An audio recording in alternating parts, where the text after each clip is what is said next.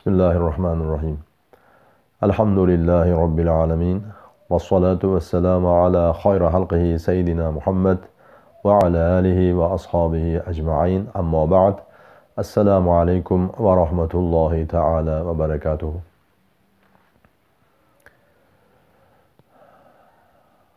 bandalarni tepasiga mo'min musulmonlarni tepasiga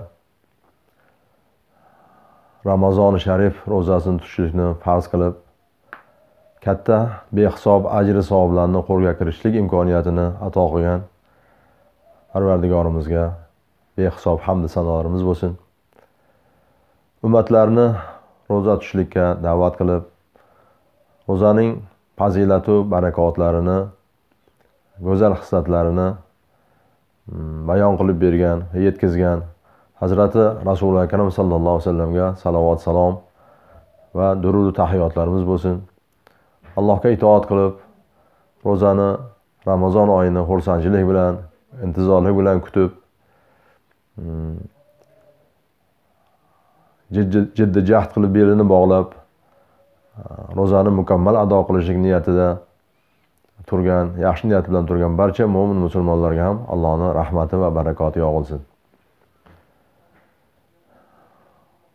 Ramazon ro'zasi dinimizni ustunlaridan bittasi allohga iymon keltirishlik besh vaqt namoz o'qishlik e, zakot berishlik ro'za tutishlik va haj qilishlik mana shu qatorida mana ramazon ro'zasini ham dinimizni e, rukunlardan ustunlardan bittasi deb bayon qildilar payg'ambarimiz alayhissalotu vassalom.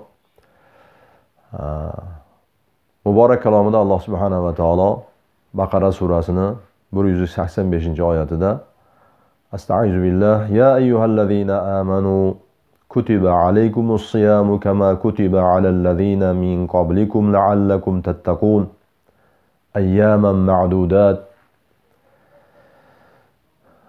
Alloh taolo mo'min musulmon bandalariga o'zining eng go'zal mahbub xitobini bayon qilib o meninga iymon keltirgan bandalarim sizlarga mehribon parvardigorlaringiz xitob qilyapti. O iymon keltirganlar sizlarga sizlardan avvalgilarga farz qilgani kabi ro'za tutishlik sizlarga farz qilindi va sanoqli kunlar deb alloh taolo ramazon ro'zasini e, siz bizlarga farz qildi.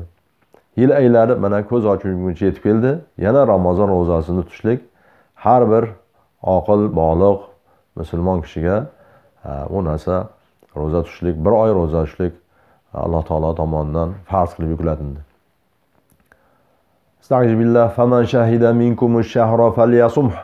kim sizlardan kim shu oyga hozir bo'lsa salomat yetsa albatta u ro'zani tutsin dedi.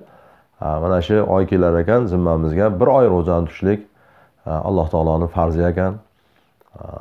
Kechalarni qiyom bilan nafl namozlar bilan taroveh namozlari bilan o'tkazishlik. Bu tatavvu ya'ni payg'ambarimiz alayhissalotu vassalom ado qilganlar buni. Hazrati umar roziyallohu anhu zamonlarida uni jamoat qilib barpo qilingan bu ulug' ibodat. Rasuli akram sallallohu alayhi vasallam muborak hadislarda man soma ramazona imanan va ihtisaban g'ufira lahu ma taqaddama min zambihi va ma ta'akhkhar. Kim ramazon ro'zasini bir oy ro'zasini tutadigan bo'lsa uni gunohlari mag'firat qilinadi. Muqaddamiyu keyingilari avvalgi va keyingi gunohlari mag'firat qilinadi degan bashoratni berdilar.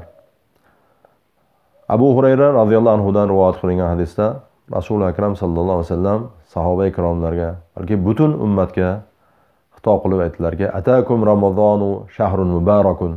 Sizlarga juda ham barakotlik ulug' oy keldi. Farazallohu azza va jalla alaykum siyamahu. Bu oyni ro'zasini alloh azza va jalla sizlarga farz qildi. Bu oyda jannat eshiklari tuftahu fiha ababus sama ababul janna. Bu oyda osmon eshiklari ibodatlar qabul bo'ladigan eshiklar va jannat eshiklari ochiladi. Do'zax eshiklari bu oyda yopiladi. O'zboshimcha insonlarni yo'ldan uradigan yomon e, katta shaytonlarni zanjirband qilinadi. Bu oyda alloh uchun xudoni bir kechasi borki bu kecha ming kechadan yaxshiroq bo'lgan bir kechadir kimiki bu kechani yaxshiligidan mahrum bo'lsa u butun yaxshilikdan mahrum bo'libdi deb imom nasaiy imom bayhaqiylar buni rivoyat qildi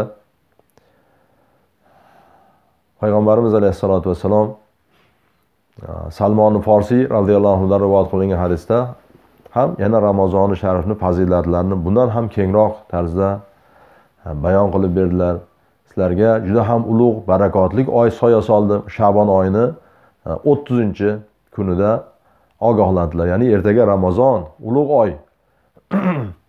Alloh taolo bu oyni ro'zasini farz qildi. Kechasini tatavvu ya'ni nafl qilib berdi ibodat uchun imkon qildi. Bu oyda ming oydan bo'lgan e, kechadan yaxshiroq bo'lgan bir kecha bor bir qadr kechasidir e, kim e, bitta yaxshi bir xislatni e, bir solih amalni bajaradigan bo'lsa ixtiyoriy boshqa oylardagi bundan boshqa oylarda bitta farzni ado qilgan bo'ladi. Kim bitta farz ibodatni bajaradigan bo'lsa boshqa oylardagi yetmishta farzni ado qilgan bo'ladi.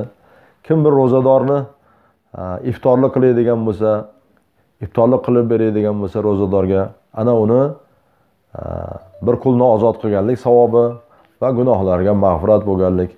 Nimasi darajasi unga beriladi deganlarda bir ro'zadorni to'ydiradigan bo'lsa ana uni gunohlariga kafforat bo'lishligi bilan birga ana uni meni havza havzi kavsarimdan alloh taolo sug'oradiki ana jannatga kirguncha chanqamaydi deganlarda bu amallarga rag'bati ziyoda bo'lgan solih amallarni qilishga o'ta zavq shavqlari ziyoda bo'lgan sahoba ikromlar yo rasululloh biz bitta iftorlik qilib e, bir ro'zadorni e, iftorlik qilib berishga hammamiz ham bir imkoniyatimiz yo'qda deganlarda payg'ambarimiz alayhissalotu vassalom e, bu bu savoblarga bu fazilatlarga bitta ro'zadorni bir qultum sut bilan bir qultum suv bilan bitta xurmo bilan og'zini ochib qo'yganlar ham albatta erishishligini bayon qildilar. Bu oy muvosot mo'minlarni rizqi ziyoda qilinadigan. Juda avvali rahmat o'rtasi mag'firat oxiri do'zaxdan ozod qilinadigan deb ta'rif berilgan muboraklik oy ekan. Alloh taolo hammamizga bu oyni muboraklik qilsin. Bu sabr oyi ekan. Sabrni savobi jannat deb marhamat qildi sabr toqat bilan ro'zalarimizga nuqson yetkazmasdan ro'zalarimizni olloh uchun tutib muborakli kunlarga keng va yorug' kunlarga tezda alloh hammalarimizni nasib etsin. Iftorlik vaqtida saharlik vaqtida turgan vaqtimizda allohga iltijo qilaylik xudodan so'raylik gunohlarimizga tavba qilaylik istig'for etaylikki mana bunday og'ir musibatlar balolar tepalarimizdan tezda daf bo'lsin. Xursandchilik kunlarda alloh taolo ulug' ibodatlarda katta jamoatlarda ko'rishmoqligimizni butun xalqimizga alloh nasibi muyassar aylasin